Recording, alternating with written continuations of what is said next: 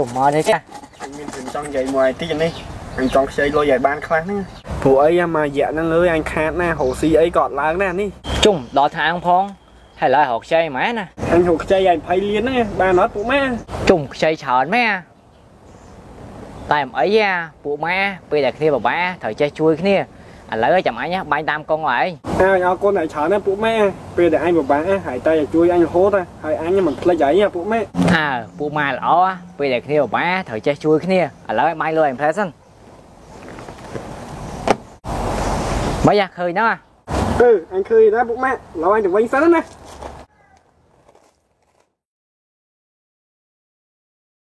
ម៉ែអើយសុំបាក់លុយពួកអីពីរខែអត់ដល់បាក់លុយផង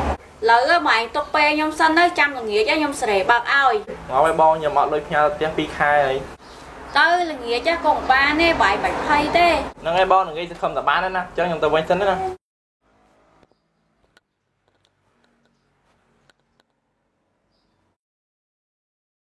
ឡូប៊ី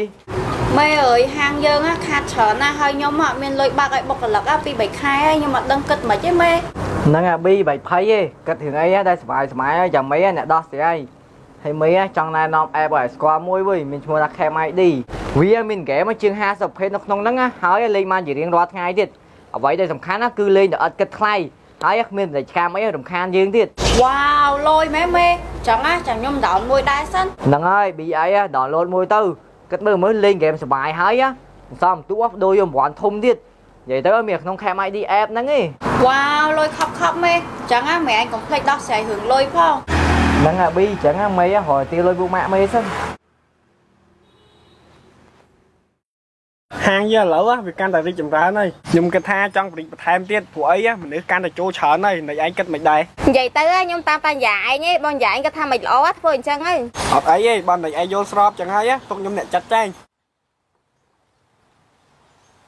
អាឡូ អឺអាយ៉ានិយាយថាគ្នាឥឡូវកូនលុយខ្លាំងពួកម៉ាក់អើយហើយអាចសងគ្នាទីទួយសិនបានអត់ព្រោះអីគ្នាអត់មានលុយបើកឲ្យបុគ្គលិកទេអើយអញប៉ងរវល់ខ្លាំងណាស់នេះបានហើយចាំនិយាយគ្នាពេលក្រោយហ៎ឈប់សិនអាយ៉ាឈប់សិន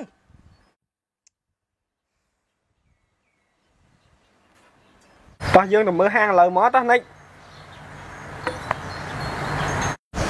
ជុំអានេះក៏ទៅជិចបិទទៀតអុយ